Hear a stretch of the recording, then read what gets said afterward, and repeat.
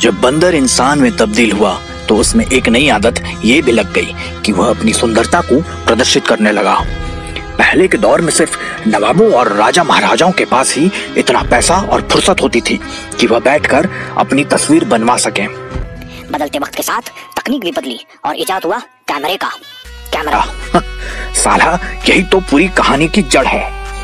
शुरुआत में सिर्फ़ बड़े बिजनेसमैन और राजा रजवाड़े ही कोई मौके पर तस्वीर खिंचवा पाते थे। पर धीरे धीरे कैमरे की कीमत कम होने लगी और ब्लैक एंड व्हाइट कैमरा बड़ी शादियों की शान बन गया। वक्त और आगे बढ़ा और कैमरे के साथ लोग भी रंगीन हो गए।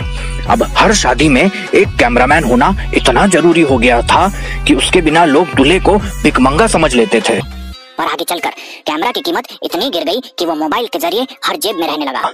अब हर कोई सेल्फी क्वीन और फ़ोटो मास्टर बनकर अपने आप को फन्ने खां समझने लग गया, जिसकी वजह से दूल्हा दुल्हन को तस्वीर खिंचवाते वक्त वो महाराजा, महारानी वाला सेलिब्रिटी फील नहीं आता था।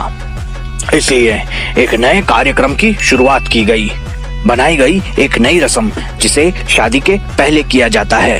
हम सब जिसे प्री वेडिंग फोटोग्राफी वीडियोग्राफी के नाम से जानते हैं।